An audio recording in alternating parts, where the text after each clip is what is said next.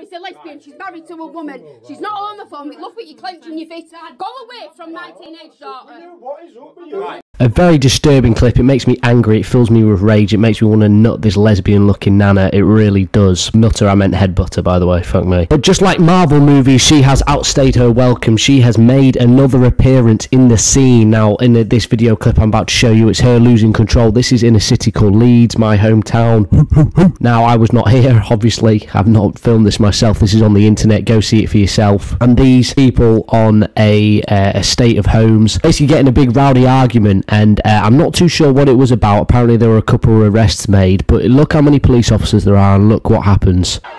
See if you can see lesbian Nana making an appearance, like Thanos at the end of Endgame. Do, do you see her? Look at her, she's going nuts! she's spraying them like she's crazy.